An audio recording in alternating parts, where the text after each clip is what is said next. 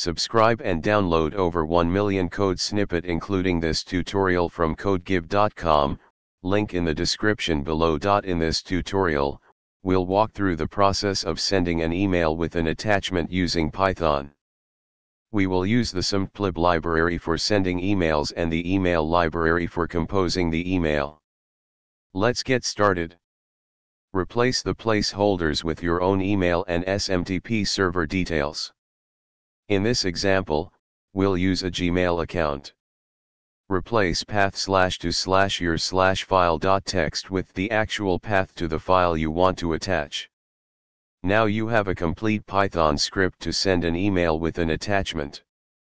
Customize it according to your needs, and happy coding. ChatGPT. Certainly. Sending an email with attachments in Python can be accomplished using the smtplib and email modules. Below is a step-by-step -step tutorial with a code example that demonstrates how to send an email with attachments using Python.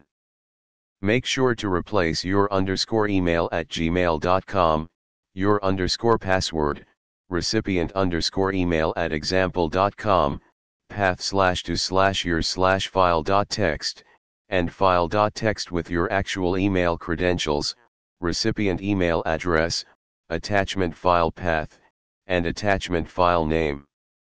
This example uses Gmail's SMTP server. If you are using a different email provider, you might need to adjust the SMTP server and port accordingly. Note, storing sensitive information such as email credentials in your code is not recommended. Consider using environment variables or a configuration file for better security practices. Feel free to adapt this example to suit your specific needs or integrate it into your own projects.